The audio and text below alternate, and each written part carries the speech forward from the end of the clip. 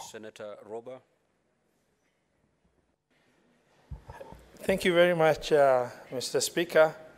Sometimes back, I was invited, you know, as a governor to participate in uh, an event that was uh, for persons living with disability in Isiolo.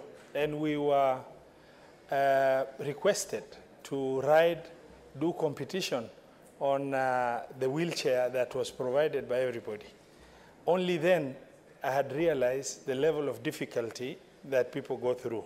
In my life, I've seen people who are okay yesterday and completely disabled today. And this is at the level of adults.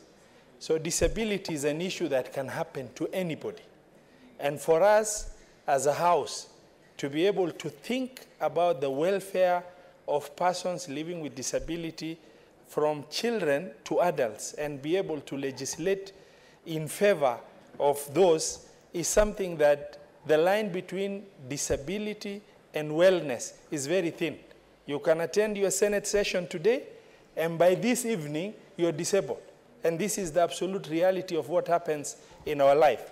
And for those of us that are well and have the opportunity to be in this Senate, to be able to legislate, help the cause of that uh, persons living with disability, it is great opportunity. And uh, for our Senator Sige, thank you very much for being extremely consistent. You can bank on our support because you have close visibility on the issues affecting persons with disability. We are very lucky to have you in this Senate.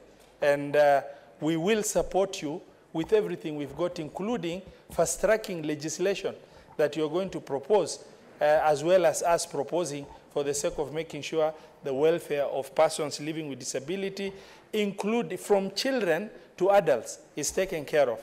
I rise to support. Thank you.